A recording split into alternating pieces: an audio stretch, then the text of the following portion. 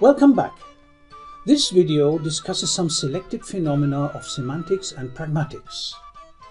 The practical can be used for in-class meetings with the unit Language and Linguistics.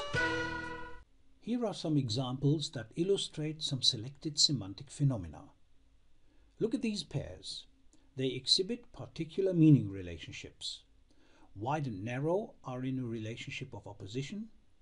Tulip and flower exhibit a relationship of hierarchy where a tulip is a flower but not every flower is a tulip.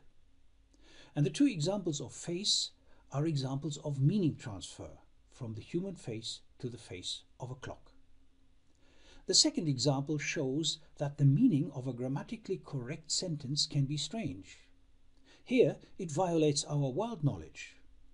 Normally we assume that the failure in an exam is a logical consequence, that is, because of not doing any work, but not the opposite, even though.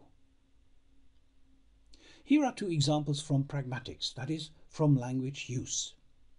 In the sentence, I hereby run to the station, the adverbial hereby is an indicator of a so-called performative utterance, that is, an utterance which acts out the meaning of the verb.